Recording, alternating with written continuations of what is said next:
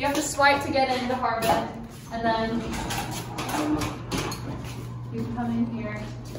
And then once you get in, you come and see student guard, Camilla. and you give them your go Yay. card. And then Thank you. of course.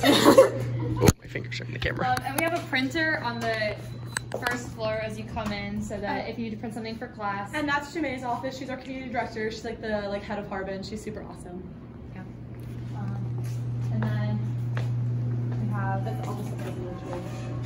Of Residential Living back there. So if you're like locked out or need help with anything, it's back there. Which is really nice. we also have bathrooms. Hi, I'm Grace. I'm in the college. Welcome to my room in Harbin. So um, for my room, we chose to do our bed side by side um, instead of bunked, and we put one a little bit higher than the other to put a little bit more space in between us. We have our mini fridge in the middle, um, and then right here we have our closets. That's my closet, um, and then my roommate's closet is right there. Um, so we have a lot of storage space, and we were pretty lucky because our room already came with a full-length mirror. I don't know if they all do, but ours did, which was really nice. We have a Georgetown flag right there. Jack the Bulldog, we love him.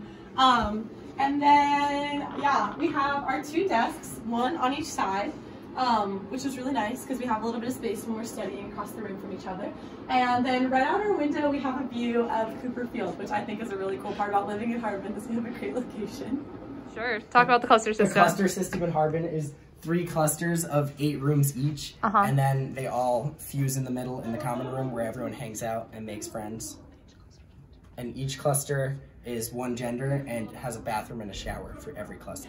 So I have my laundry, right? Just got pulled out of the washing machine. I go over to this thing right here. I click select a dryer, and then I look at the ones that are open, and I think, oh, number 10. That seems legit. Um, and then I go ahead and swipe my go card, and now the dryer is enabled. Thank you. This is Michaela Jeffries. She's the Harbin Hall president this year. Um, Michaela, what is the best thing about living in Harbin? The best thing about living in Harbin is the people. Honestly. We have two resident ministers, Josh and Abby. They're both amazing. Um, and they are. Are you an Orthodox minister? Um, I'm an Orthodox Christian. Orthodox Christian, and she um, is just sort of like some like a resource for people here in Harbin, just to kind of like get to. And once a week, she hosts um, an unorthodox snacks with Abby, and she they make food, and everybody gets to kind of come and like talk about different discussion. I came in here once to watch the Democratic debate. Um, a lot of fun, and her apartment is super cute. Hi, I'm Fatima. I'm a junior in the college studying government African American studies with a minor in theater performance studies, and I'm an RA in Harbin 5. What's it like being an RA in Harbin? Um, being an RA, specifically in Harbin, is amazing because we have so many different characters within our RA team, starting with like our um, staff. We have Jemaine in our building, and she's just like literally perfect. Her and herself, like she does so many different things, but still manages to be so available for the building.